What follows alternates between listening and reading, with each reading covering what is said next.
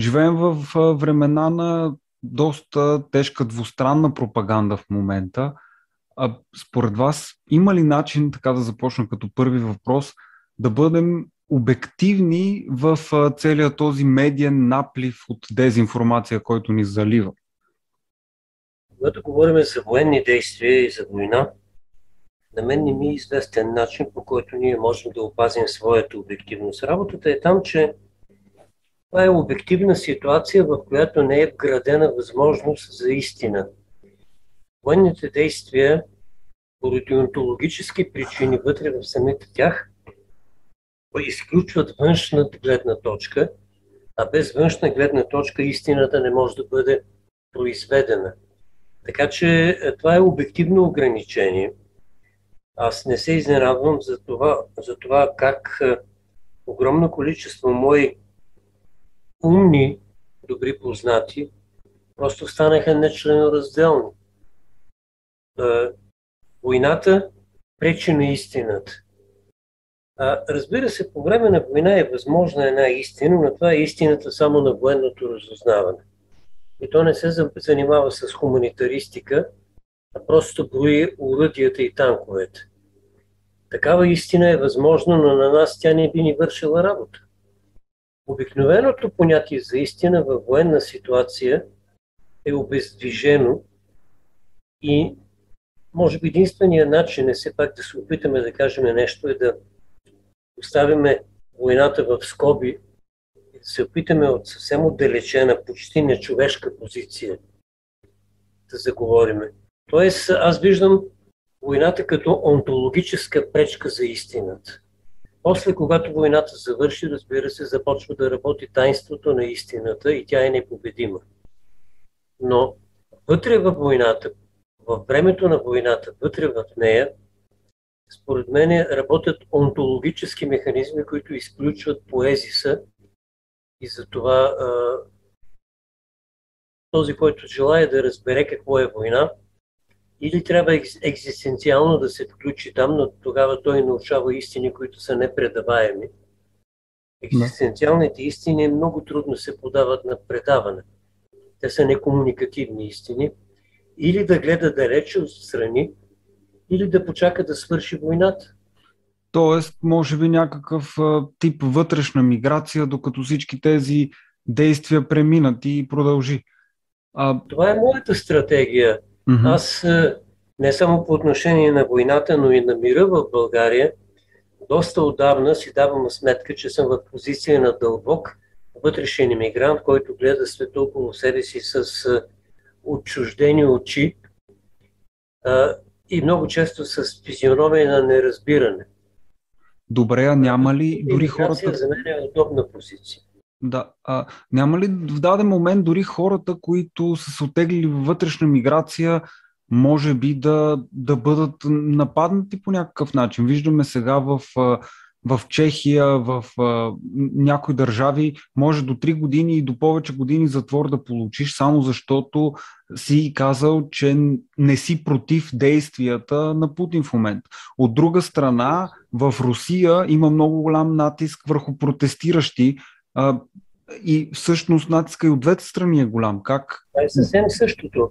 Това, че в Русия държавата забранява на хората да нарекат котката котка, да нарекат войната война и че протестиращите с различни причини, разбира се. Някои протестират, защото разбират за какво става дума, а други протестират именно защото не разбират за какво става дума, но протестиращите, които не споделят държавната гледна точка, държавната интерпретация, съвсем не са в безопасност.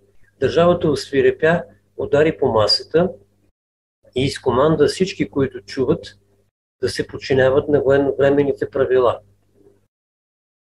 В е, Чехия, в Германия, в Словакия, в други цивилизовани европейски страни работят същите механизми, което лично за мен би трябвало да бъде изненадващо, но тъй като аз отдавна следя гниенето на европейския либерализъм, не съм изненадан. Някъде в една от точката на своето развитие либерализма плавно преминава в фашизъм, в своята официална външна противоположност. Тоест, сега... да, да, езика на политическата коректност се налага почти като пълен диктат. Точно така. И не само това. А, логиката на политическото малтретиране се явява като неизбежно заключение на политическото отпадане. Ако ти отпаднеш от официалния дискурс, ти можеш да бъдеш малтретиран, можеш да бъдеш репресиран, с теб може да се случи всичко. Това, което става сега, хвърли известна светлина върху една стара загадка. Откъде в тази либерална, хуманна Европа, Европа на Гьоте, на Кант и на Хегел, се появи тази абсолютно ирационална омраза към евреите? Как така цивилизована Европа търпеше опитите да се реши еврейския въпрос по окончателен начин? Значи, доскоро можеше да се вярва, че това е далечно минало. Но аз сега виждам как руснаците в Европа са новите евреи. Да, Лекари много... отказват да ги лекуват, учители плачат при директора детенце в детска градина, което е длъжно да се разграничи от родителите си и да се разграничи от Путин. А, тези неща, според обикновеното непросветено съзнание, са невъзможни в Европа. Виждайки ги, че са невъзможни, трябва да приемем, че те, оставайки си невъзможни, са действителни. Добре, като споменахте Путин, всъщност путинизма като явление, доколко той се налага просто на хора, които са русофили, чисто идеологически в момента и се штамповат те, и доколко наистина на хора, които подкрепят Путин. Защото има хора, които обичат Русия и според мен те получават обвинението, че са путинисти без да са такива. Да, приема се, че русофилът също неясен термин, впрочем, но се приема, че русофилът е а, на общо основание и путиноид, путинофил, путинист. А, бих споделил за себе си. Просто няма обективна процедура, няма обективен начин на мене да се закачи обвинението, че съм путинист. Аз се отнасям прохладно и с а, разбиране, към действията на съвременната руска власт, но вече съм заклеймен с клеймото путинист. А, важното тук е, че на човек не му е дадено да промени квалификацията, която му е наложена отвън. А, няма значение какво мисля аз за себе си, за моето отношение към Путин и за самия Путин. Няма никакво значение. Ако влезеш веднъж в дежурната интерпретация, ти си загубен. Другия вариант е да започна да обяснявам, че не съм путинист, но това пък е унизително. Да. И малко изглежда да. като гузен негонен бяга в очите на другите, а то не е така. Не, аз не бих се унижавал по този начин. Да. Просто дойде време на загуба на рефлексия. Тогава най, а, най-дълбоко подземните сили избояват избояват някакви хтонически сили на повърхността на обществения живот и тогава всеки среден психопат, всеки среден луд, всеки среден а, канибал има правото да обвинява и то без а, доказателство. Докажи, че не си путинист, докажи, че не си камил. Всеки, който не успее да докаже, че не е путинист, е вече априорно обвинен и дори осъден. Да, в момента а, виждаме. Логика на войната. Да. В момента виждаме нещо като, бих казал, почти културен терор. Огромно насилие, блокират се руски канали. Сега новия ни министр премахна ки, руската кирилица от сайтове. Ана Нетрепко я изгониха от опера, Григориев го изгониха от опера. А, да, да това, това нещо докъде може да ескалира? Достоевски дори го махнаха от един университет, предвиждаше се да се преподава, след това го върнаха, защото стане скандал. Докъде може да ескалира това с руската култура? Допълвайки вашето изреждане, аз си спомням сега, че преди няколко дена стана известно, че Опера Уинфри извади от своят читателски клуб книгата Война и мир, тъй като не била актуална. Това е същото.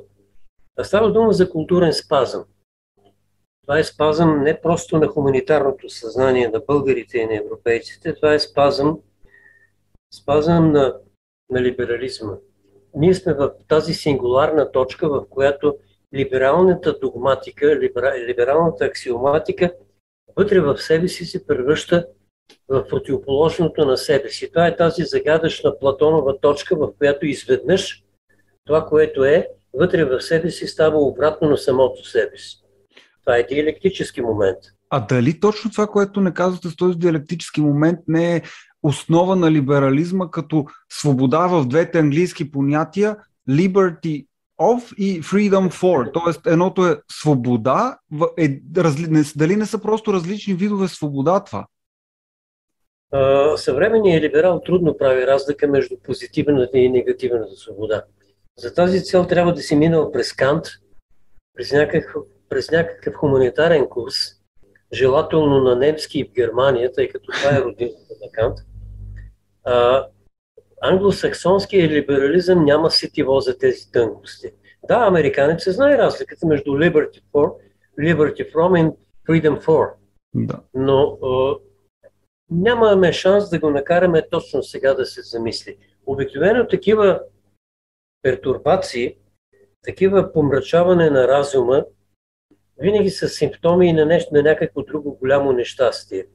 Цивилизована Европа преследваше евреите в междувоенния период. Всичко завърши много лошо за евреите, но завърши много лошо и за цивилизована Европа. Настъпи часа Хикс и над земята се спусна мрак, като се раздра завесата и така нататък и така нататък. Апокалиптичното бедствие на Втората световна война, според мен, беше предчувствано и беше прекурсирано от невъзможността на европейските евреи да докажат, че не са виновни за каквото и да било. Новите евреи са руснаците в Европа. А до, докъде ще се отвори и разкъса тази мрачна завеса в момента? И вярвате ли наистина, че се намираме в навечерието на Третата световна война? Докъде не знам, трябва да сме живи за да видим, но аз наистина вярвам, че светът е в навечерието на Трета световна война. Фактически това го казах преди една седмица, междувременно се появиха доказателства, че не сме в навечерието, а сме по-точно в началото. Ако разглеждаме украинските събития, аз вече мога да докажа, че там воюва не Русия срещу Украина, а Русия и Америка воюват, като Америка има прокси сила. Украина е прокси на Америка. Конфликтът между Съединените щати и Русия вече е на лице. Според мен Дълбоката причина за това е а, преминаването от еднополюсна цивилизация, от еднополюсен свят към многополюсен, към триполюсен в наше време. Преминаването от един полюс към няколко полюса е период на спазми, на интелектуални, морални и всякакви други изпитания, когато се намаляват, когато отслабват силите на разбирателството и когато човек е оставен сам с инстинктите си. Това ще бъде според мен е период, когато ще започна серия от регионални конфликти, всеки от които все по-ирационален, все по-безсмислен, все по-жесток и все по-кървав. И това ще продължи през целия период на прехода от еднополюсен към многополюсен свят. В случая света е триполюсен.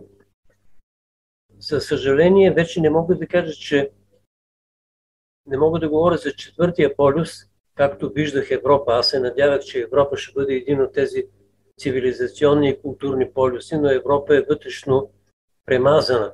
Европа е вътрешно а, прегазена. А, когато говорим за Обединения Запад, това е вече едно очевидно насилие върху логиката на понятията.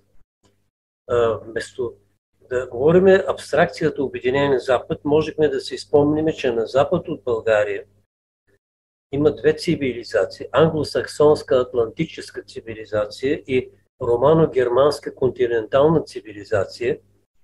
И те, двете, се различават, макар и не по видимо крещящ начин, те се различават съществено.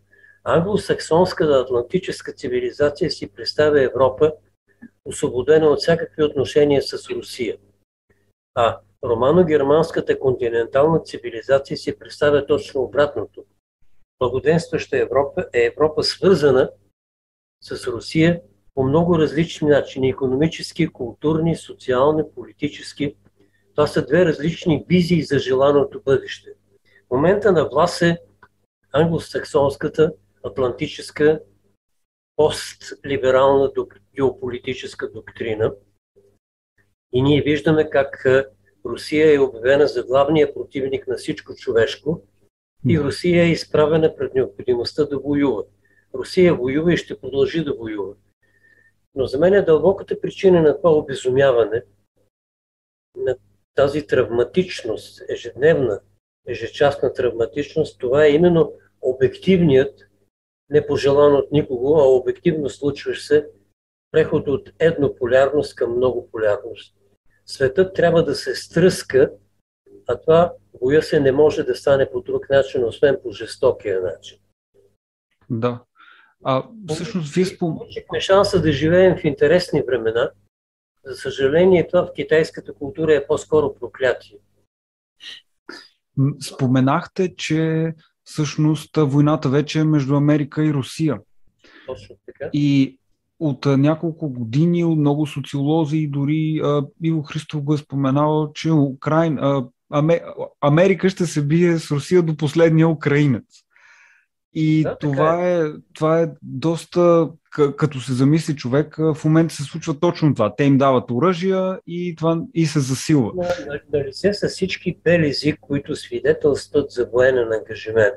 Съединените щати финансират Украина, Съединените щати въоръжават Украина, Съединените щати захранват украинските въоръжени сили с особено ценна разузнавателна информация, която украинския генерален щаб използва, тъй като разузнавателните алвакси на Съединените щати и спътници леят потоци от информация, особено важна информация в украинския генерален щаб. Т.е. Америка воюва и с информация и накрая, както научих тези дни, Съединените щати ще изпратят в Украина и частни военни компании от рода на BlackRock, Dean Corporation и така нататък. Това е, това е достатъчно доказателство, че Съединените щати воюват, макар че те не биха желали и няма да си позволят да воюват в директна форма. Войната ще върви чрез проксита. Украина днес е прокси на Съединените щати и Америка ще воюва с Русия до последния украинец. Да. Това ми изпълва с съжаление и с а, неудоволствие от съдбата на Украина. Аз съм възпитаван в дух на уважение и симпатия към украинци. Това е моя част на биографическа особеност. Като виждам сега в какво състояние са, как са полудели, аз много съжалявам и се надявам все нещо да се оправи при тях, но това, което виждам днес, не дава надежди за оправи в близко бъдеще. А, да, добре. Америка воюва. Mm-hmm. А, те не биха си позволили да воюват директно. Както аз подозирам, че в Москва биха искали. В Москва са готови да се изправят в карибски кризи срещу Съединените щати, защото след като има съгласие, че няма да има ядрена война, Двамата президенти заявиха по няколко пъти съвсем ясно, че ядрената война е невъзможна и немислима. Тогава един бъдещ карибски кризис може да бъде желана ситуация. Това е моя хипотеза просто. Желана ситуация, в която Съединените щати да се отнесат сериозно към руските геополитически виждания. Защото при първи опит да се сподели проблем с американското ръководство, те просто се изсмяха. Ние не разбираме за какви червени линии говорите, господин президент.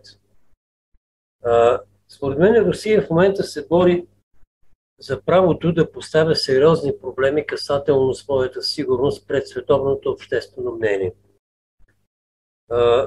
Но мене повече ме интересува тази война не като поредица от технически действия и не като военно всекидневие, а като културно обезумяване, което засяга не само участващите на бойното поле, но и всички, които наблюдават. Аз виждам в България как е невъзможно да се говори нормално вече.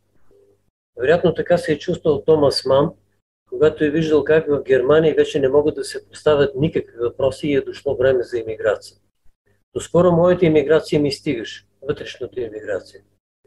Питам се, ще бъде ли достатъчна в близките месеци, защото в България вече не могат да се поставят сериозни въпроси. Трябва да приемеш това, което ти насаждат с тропане на токове и с обче съгласие без коментари. Една от целите на този канал е да могат да се задават сериозни въпроси и сега бих ви поставил още един такъв. Доколко е възможно и доколко е оговорено събитие военния конфликт в Украина между Русия и Америка? Според мен, това е малко парадоксално, аз признавам, между двамата президенти на Русия и на Америка има изразено двустранно съгласие, че ядрената война не може да бъде допусната. Предполагам, че и двамата ще държат на това свое съгласие до края на военните действия, който край, впрочем, не се и вижда. Тук има една друга проблематика. Работата е там, че но тук първо трябва да предупредя, че самата тематика е задръстена. Просто за да може да се говори рационално за тези неща, трябва по някакъв начин да помогнем на своите съвременници да спрат да се занимават само с Путин. Тоест, наскоро писах, че този, който се опитва да изведе политическата реалност от душевния свят на един отделен човек, не разбира за какво става дума. Тоест лицето на абсолютното зло, диктатора, неуместните сравнения с Хитлер и така нататък. Удобното чуже, отоксвото чуже и така нататък и така нататък. Една най-новата англосаксонска идеологема е, че Путин е психически болен. Иди доказва, че самия този подход е, е безумен. Аз приемам, че американските особеностите на американската днешна политика не се извеждат, нито се свеждат до възрастовите особености на Байден. По същия начин знам, не просто вярвам, а знам, че руската политика нито се извежда, нито се свежда до Путин и от Путин. Става дума за дълбинни обществени процеси, които имат своите прояви на повърхността, като те определят взаимодействията в колективно ръководство. Според мен еднолично ръководство никъде не е възможно. Дори египетските фараони не са били еднолични ръководители. Наскоро четох една много интересна книга на Норбер Елиас за социологията на френското дворянство, където той описва абсолютно прецизно как периода на абсолютизма на Луи XIV, на Людвиг XIV, не е било периода на капризите на краля Слънце, е било период, в който френското дворянство се е настроивало да живее по нов начин. Тоест, дори когато една политика изглежда индивидуална, тя не е индивидуална, а е резултат от групови, колективни, масови взаимодействия. За мен това е централен методологически принцип. Политиката на Путин не може да се извежда от неговата хипофиза. Политиката на Байден не може да се извежда от неговата застомашна жлеза. Байден е сумарната точка на всякакви взаимодействия, които се срещат и се пресичат върху него. И идеята, че някакъв самотен американски президент самотно дърпа лостовете на властта е абсолютно идиотска. Нищо такова няма в Съединените щати. Но Нищо това е медийна идея. Това идва, от мед... това идва от медиите и по същия начин беше и с Тръмп. Хората си мислиха, че Тръмп управлява еднолично, а той имаше а, огромен екип от идеолози, от хора, които го съветват и така нататък, които са много по... Аз бих, бих добавил и още нещо. Вижте, това, това, за което говорим, е особеност на англосаксонската военновременна пропаганда. Целта е да докараш този, когато мразиш, до пълно диаболизиране, сатанизиране, идиотизиране. Противника да бъде смесен с кълта, да бъде размазан като несъществен, като идиот, като човек, който не отговаря за душата си. Това е политиката на дехуманизация на противника. Подобни неща се наблюдават и в днешна Русия, но те не са типични за руската политическа култура. Руснака по-лесно можеш да му обясниш, че преди да има индивидуален Путин, има колективен Путин и той не се нарича Путин, Аз, например, смятам, че днешната политика на Русия не е каприз на Путин, а е резултат от балансираното взаимодействие в отношенията на четири различни елитарно-управленски групировки, които са в и около Кремъл. Това са четири различни елитни групи, които взети заедно са представителни за днешния руски политически живот. Нещо от този род може да се каже за Съединените щати. Там също влиятелни, макар и невидими политически групировки, една от които е така наречената дълбока държава, оказват влияние върху политиката на американския президент, така че той съвсем не е абсолютно свободен и съвсем не може да прави каквото си иска. На времето гледах едно филмче, в което Барак Обама тича из коридорите на Белия дом, за да си прави джогинга. Така се създаваше представата, че този човек е абсолютно свободен. След това, с качени крака върху бюрото в овалния кабинет, той подхвърля към тавана и, и лови обратно някаква баскетболна топка. Това е разбирането, че американският президент е свободно творящ своята политическа действителност субект. Нищо подобно. Нито руски, нито американски президент са функция на своята воля. Те са обвързани в огромно количество дълбинни зависимости, които непрекъснато избиват на повърхността. Имало е случаи, и вероятно пак ще има случаи, когато и в е, кабинета на Путин и в овалния кабинет на Байден ще има ситуации на невъзможност да се действа, ситуации на неразбиране, на задръстеност, на изчерпане на ресурсите, на изчерпане на разбирането. Тоест, дори най-едноличният владетел всъщност е зависим от своето обкръжение, от своята среда, от своята ситуация, от своята конюнктура. Това е вярно и за Джо Байден, когато го докарват до идиотизъм с непрекъснатия си хумор, за това, че той е стар и нефелен. Както писах наскоро, за мен е нормално един възрастен човек на възрастта, на която е Байден, да се спъне по стълбишката на самолета и вместо да му се смеят, те трябваше да се опитат да му помогнат. Просто това е, това е англосаксонската методология на довеждане на този, когато обсъждаш до насекомо.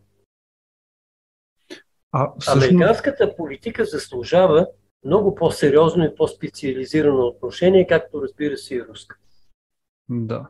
И може би дори това отношение, вчера четох едно есе на Мишел Уелбех, в което той казва, твърдеше по така доста обратен път, че Тръмп всъщност е бил добър президент. Той по времето на Тръмп е писано самото есе и той обяснява защо, защото не е водил война и така нататък. Една война не направи Тръмп. Да. И вие твърдите, че всъщност тази война нямаше да се състои, ако Тръмп беше президент. Защо това е така?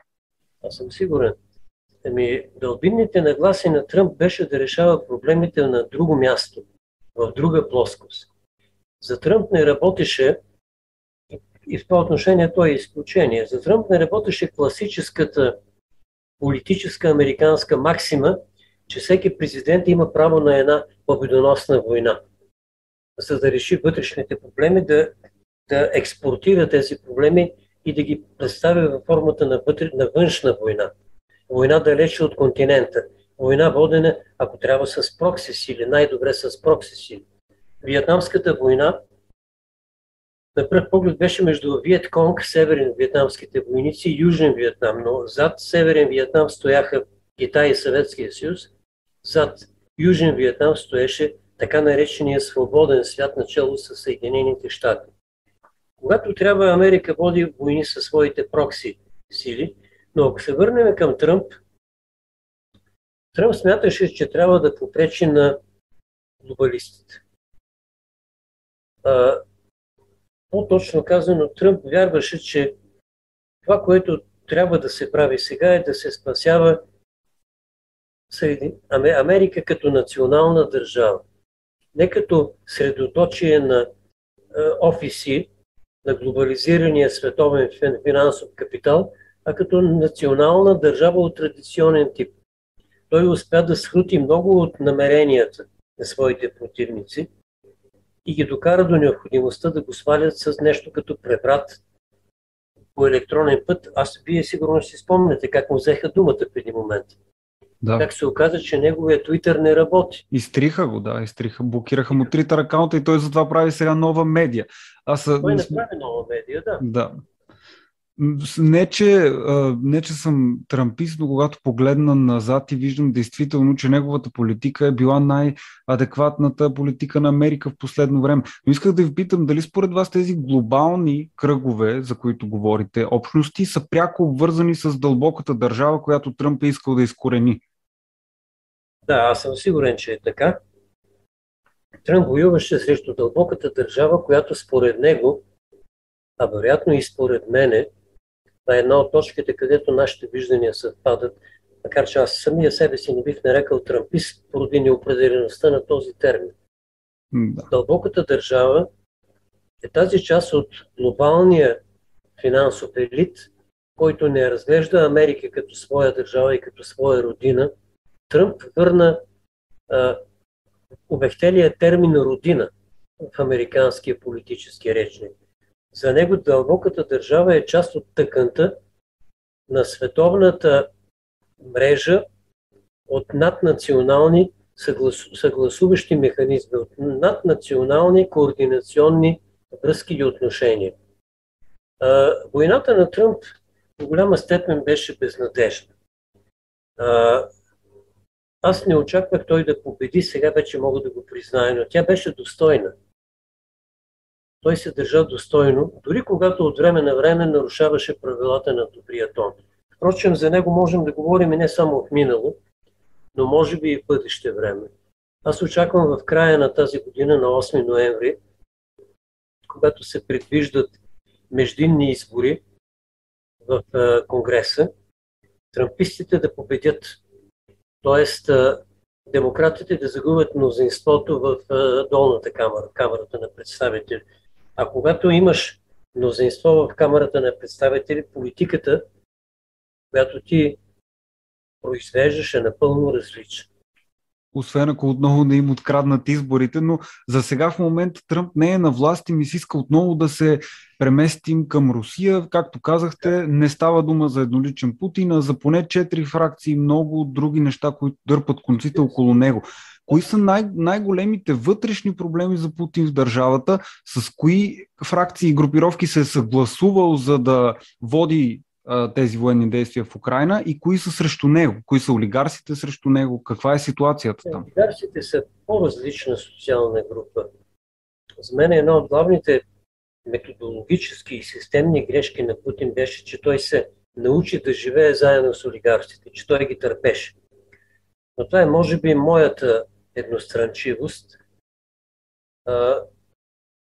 В Кремъл са представени със свои представители четири различни елитарно-управленски групировки в Русия. Първата, това са така наречените силовики, това са силоваците. Това са въоръжените сили, тайните служби, военно-промишления комплекс. Парадоксално, но тук гравитира и църквата, Руската православна църква. Аз не мога да обясня защо е така, но Руската църква е в непрекъсната хармония с силоваците, с силовики. Тук влизат и безброй локални, регионални, родолюбиви организации, патриотични структури. Това е най-голямата групировка, която оказва най-голямо влияние на ситуацията. Но освен тази групировка, която никога не е била директно на власт, съществува и елитарния кръг на така наречени, на времето ги наричаха червените директори, но те вече не са червени. Става дума за ръководителите на руската економика от рублев тип. Това са тези, които работят с рубли и непрекъснато се оплакват, че им липсват средства за инвестиране. Това са директорите от индустриалните зони на Русия.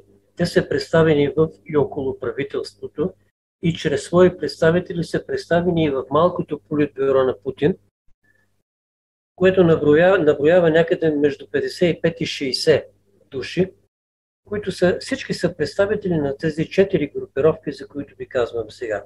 Третата групировка, разбира се, е Газпром. Една държава в държавата, която съвсем доскоро си позволяваше да финансира открито а, либерално-дисидентските медии от рода на Дъжд и Еха Москви. И аз мисля, че те бяха прави да го правят. Това беше начина да се държат тези групировки под контрол. Газпром са склонни да, да говорят за себе си като за ние сме меча на империята, което е глупо, разбира се. Но те са един от главните донори в руския национален бюджет. И те са, имат своят, изтеглят своята важност от там. Четвъртата групировка, с която няма консенсус, а първите три са в консенсусни отношения, четвъртата групировка това са руските финансово-доларови либерали. Това са ръководителите на финансовите структури в държавното управление. Това е Елвира Набиулина, това е Кудрин, това е Чубайс, който не играе никаква особена роля, на генетично той е в тази групировка. Тази групировка и до сега пази и помни своите отношения с семейството, така наречената семя. Това е семейството на Елсин, Юмашева. Тази групировка не, не влиза в консенсус. Тя гледа отстрани, не протестира, но съвсем очевидно не е съгласна. Служете тук и няколкото олигарси, повечето от които вече могат да се похвалят, че са в добри човешки отношения с Путин, което разбира се е катастрофално за политическия образ на Путин. И ще видите колко сложна е Русия. Руското управление е възможно само когато Путин, но не като цар и самодържец, а като балансьор и арбитър между тези четири групировки успее да ги докара до мир. Тази задача според мен ми се вижда невъзможна и той я решава не на 100%, а на 80%. В момента първите три групировки, за които ви казах, са съгласни с това, което става, с новата линия на Русия. Четвъртата не е съгласна, но мълчи пасивно. Ако се развали консенсуса между тези три групировки, войната в Украина и цялата украинска политика на президента Путин може да бъде торпилирана. Не е ли това една от основните цели на американците да развалят консенсуса между тези групи, да ги разпаднат, за да. Мене това е целта на санкциите. Санкциите имат економическа страна, която, макар и много трудно, може да бъде преодоляна, но персоналната страна на санкциите, удара по семействата и по децата на олигарсите, и забележете, не всички от тях са олигарси. Има огромно количество държавни чиновници, които също са санкционирани.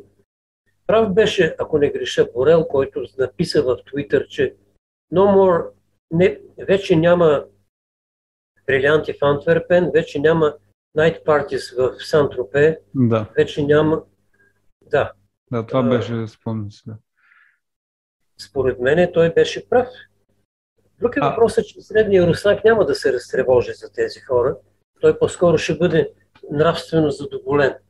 А не е ли това всъщност възможността, извинявайте, ако ви прекъснах на Путин, да, да прекъсне тази връзка на олигарсите с Запада и да направи Русия по-самостоятелна държава, точно чрез санкциите, когато а, все пак Русия се затвори като самосиндикална економика, сега добавяйки златен резерв и така нататък? обективно се появяват възможности да стане точно това, което току-що изказахте. Но аз мисля, че Путин няма да има житейско време и воля за да го направи. Да се освободиш от олигархическата върхушка на Русия са нужни свръхусилия. И аз мисля, че Путин във времето, което му е дадено, с което той разполага, а то не е много време, няма да има възможност да го направи. Значи има, може да се каже обобщено. Цялата руска държава, както я знаем от, от началото на 90-те години, руската държава, която се появи на руините на Съветския съюз, тя е градена с едно желание от руския елит, който я гради, да се влезе в Европа. Това е гълба е мечта идиот. Това е идеята ние да влезем в Европа на всяка цена. Това е идеологията на така наречените вхожденци. Днес тези вхожденци в, в Русия, които бяха щастливи, когато функционираше комитета НАТО-Русия, които воюваха Русия също да се промъкне, ако може някакси в НАТО, и ако може по-пластунски да се пропълзи в богатата и охолна Европа. Друг въпрос е, че техният образ на Европа е абсолютно превратен. Европа нито е толкова охолна, нито е толкова богата, нито е толкова безпроблемна, но те така я виждаха. България, впрочем, може би няма да си спомните, защото сте на друга възраст, България също имаше партийно течение и път към Европа. Идеята беше да влезем в Европа и тогава просто да кажем, ние не Господи отпущаещи. Да кажем, че живота се е състоял. Тези руски вхожденци, които продължават да са на позиции в руската държава, са потенциални противници на днешната политика на Путин. А, наскоро социолози показаха, че някъде към 60% от всички чиновници в Санкт-Петербург са готови да отидат на Запад със своите спестявания и със своите семейства. Това е фатална цифра. 60% от държавните служители в държавните управленски структури са готови да преминат на Запад, забравяйки своите служебни и трудови задължения там, в Русия. Аз мисля, че Путин в момента е на път да обяви война на тези структури, на своето наследство от 90-те години. Ако той се опре на когото трябва, това са широките маси в Русия, той ще победи и ще може да остане в историята като спасител на Русия. Но аз не съм убеден, че той ще може да направи това нещо. Войната срещу вхожденството като масова нагласа, като управленска идеология в руския държавно-управленски механизъм, тази война е много трудна и с неясен изход. Разбира се, Путин може да се опре на общественото мнение на така наречените широки народни маси. Но дори и тогава той трябва да е готов, според мене, за фрондьорски действия. Според мен тези, които губят капиталите си, вече не се чувстват ангажирани с лоялност към Путин. И това е голямата слабост на руския президент. Няма значение как се отнася към него народа. Обществената подкрепа за него е към 72%, което е напълно достатъчно да управляваш спокойно и безпроблемно. Но а, кръговете в руската държавна машина, така наречената руска номенклатура, според мен съвсем скоро ще почнат да проявяват белизи на нелоялност към своя сузерен.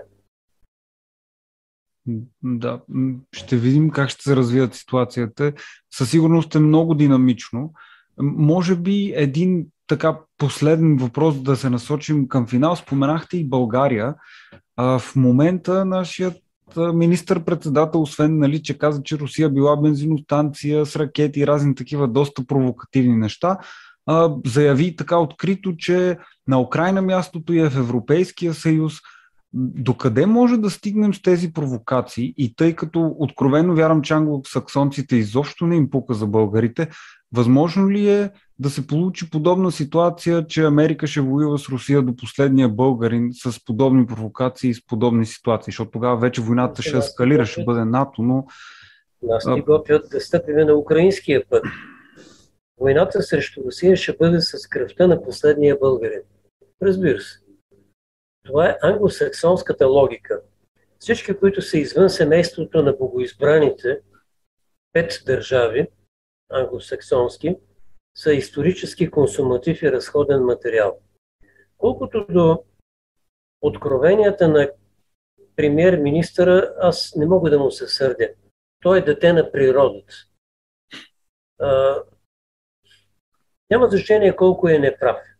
Той е искрен и той е длъжен да отговаря пред Американското посолство, а не пред своите избиратели. Той е напълно адекватен спрямо волята на Американското посолство. Той има да изпълни три задачи по американска линия. Всичко останало не интересува никого. А, но преди да продължим по тази линия, виждам, че пропуснах нещо важно от предишната точка. Работата е там, че исках да ви кажа, че подобни конфликти има и в американската столица. Там има ястреби и гълъби. Около Байден са по-скоро гълъби неговите съветници. Около Блинкен в Държавния департамент са по-скоро ястреби. Там има една много интересна кадрова гарнитура, съветници, служители, помощници, които а, непрекъснато са не единни, непрекъснато се карат и Байден просто няма сили поради възрастта си да ги подреди, да ги целенасочи, да ги накара да млъкнат когато трябва и да ги дисциплинира. Силата на американския президент е чрез авторитета си да дисциплинира своите съветници и помощници. Байден не успява да прави това. Той изцяло зависи, вероятно поради възрастта си, но той пък е човек, който не е ястреб, той е по-скоро гълъб. Той е стъпил на пътя на преговорите с руския президент и не вижда защо да излиза извън този път. Всичко останало, всичките негови публични заклинания са в интерес на Демократическата партия, която вярва, че ескалирайки конфликт с Русия, ще си осигури победата на изборите през ноември тази година. Всъщност, демократите са на път да загубят тези избори. Те не могат дори да прокарат своя своя електорален бил, своята изборна технология, която трябва да, преди да се осъществи, трябва да стане закон, който да бъде прият. Те не могат да съберат нужното мнозинство в долната и в горната камера. Така че Байден ще бъде лоялен към партията, която го е избрала, но вътре в рамките на тази партия той ще има своите ангажименти по-скоро с гълъбите, отколкото с ястребите. Сега, връщайки се към българската печална реалност, аз не очаквам нищо от българския премьер. Той ще трябва да изпълни трите задачи, заради които е поставен на този пост. България е в няколко кризи едновременно. Финансова, финансово-економическа, здравна, управленска, геополитическа, битова криза, криза на морала. Няма начин Кирил Петков, за когото дори можем да предположим, че е средоточие на добрата воля, че човека се старае искрено. Той няма компетенциите и не е достатъчно адекватен срещу днешната българска проблематика. Той трябва да изпълни три задачи. Да осигури военното присъствие на американски войски на българска територия, да отстрани последните пречки по пътя на Македония към Европейския съюз, т.е. трябва да се затвори по някакъв начин устата на българските интелектуалци и учени историци. Този въпрос трябва да бъде решен спешно. И разбира се, накрая, без да е най-важно, е силно желателно той да утвърди съдържателно Истанбулската конвенция в българския е, правен живот. Mm-hmm.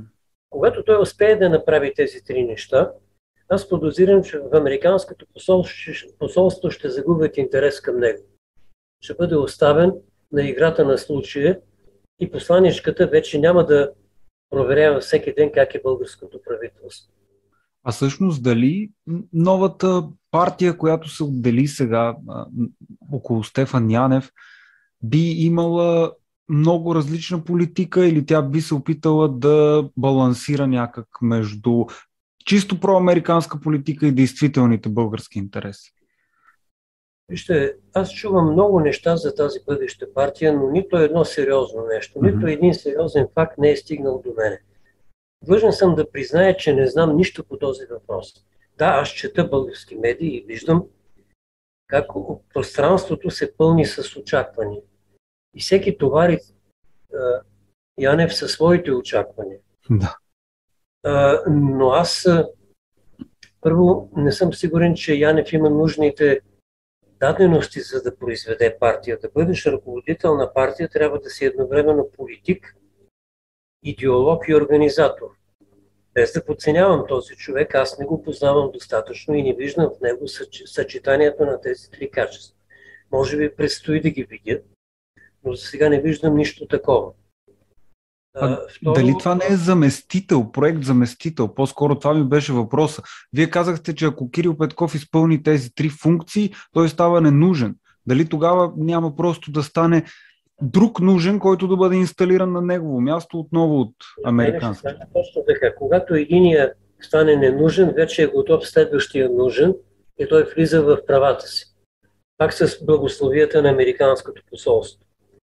В България това положение няма да може да се промени в обозримото бъдеще, тъй като машините ще бъдат нашия инструмент за гласуване, а Този, който контролира софтуера на избирателните машини, контролира избирателния резултат.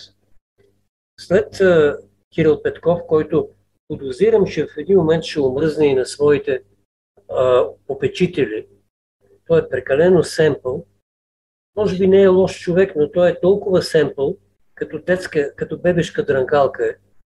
Така че предполагам, че с досада ще го дочакат да си свърши трите исторически работи и ще го пуснат да живее свободен живот някъде там, откъдето той е дошъл. Колкото за генерал Янев, аз чувам само очаквания и всеки ги модифицира тези очаквания, както, както му отърва на него. Може би тук влиза трябва да се брои моя скепсис към всички бъдещи и предстоящи проекти. В България, България няма нужда от проекти. Това не е бизнес, че да се прави проект. България има нужда от стабилна, отговорна, адекватна политическа субектност. И тези субект, този субект е желателно да се появи не с оглед на някакви избори и с оглед на някакво преразпределение на депутатски места, а като израз на дълбинната логика на българското национално съществуване. Адекватен, органичен и отговорен политически субект е това, е, което е нужно на България. И ако той отговаря на тези три изисквания, аз мога и да забравя какъв да бъде, десен или ляв. Адекватен, отговорен, творчески, политически субект. За сега виждаме само мечтания за проекти, които както се появяват, така и си отиват. Трябва да изживееме периода на българска а, псевдополитическа проектност. България има нужда от субектност, не от проектност. А тази субектност идва от, криз, от кризата, Новият елит идва от тъмното и от студеното. Там, където няма живот, там, където няма надежда. Българската нова политическа субектност трябва да се роди по силата на неволят, не поради амбициите на някои ръководители, които желаят да напишат списъка на парламентарна група. И да възприемат България по-скоро като предприятие, отколкото държава, защото поне Личното ми. Бизнес инициатива, в която аз съм менеджер. Точно, така ми изглежда и на мен. Но нека тогава да се насочим към един последен обединителен от двете теми въпрос. В момента има много голяма вълна на бежанци. В България също вече, доколкото видях, поне 30 хиляди украинци са навлязли а, има и много безарабски българи. А, част от тях казаха, ние мислим да останем. В същото време, например, в Русе а, ги поканиха много хора да, да работят и никой до сега не е казал и не е заявил желание да работи. Как, виждате ли някакъв потенциал да дойде някаква бежанска вълна, която да направи нещо за нашата економика действително? Има ли как да влезе свежа кръв или по-скоро това са предимно хора, които чакат да свърши войната и да се върнат? Мисля, че по-скоро е второто, което казахте. Това са хора в беда, в нещастие, които имат нужда от спокоен залив, където да изчакат бурята, за да се върнат и да устроиват живота си там. Все пак аз мисля, че една не голяма част от безарабските българи ще останат в България. Искам да се надявам в това и искам да вярвам, че това са хора, които ще могат да допринесат на българския трудов пазар със самото си участие в него. На този етап ние виждаме просто бежанци. Виждаме хора в проблем и тъй като те са, а, не представляват заплаха за нищо сега, днес, аз мисля по-скоро, че трябва да ги приемеме с съчувствие и с разбиране. Друг е въпросът дали цялото множество от днес пристигащите бежанци няма да се насочи в някаква друга посока. Обратно към Украина или напред към щастливите германски земи в Централна Европа, или още по-надалече в Америка, но част от тях със сигурност няма да останат в България. А другата част аз се надявам по някакъв начин да бъдат полезни. Да. Ми, мисля, че обходихме много теми. А, нека да не, да не прекаляваме с дължината на разговор, но с вас винаги е много интересно и съм сигурен, че хората ще изслушат този разговор с интерес. Аз и аз съм на вашето разположение, когато имате такива интересни и важни теми. Аз съм готов да ги обсъждам заедно с вас. Добре, благодаря ви тогава.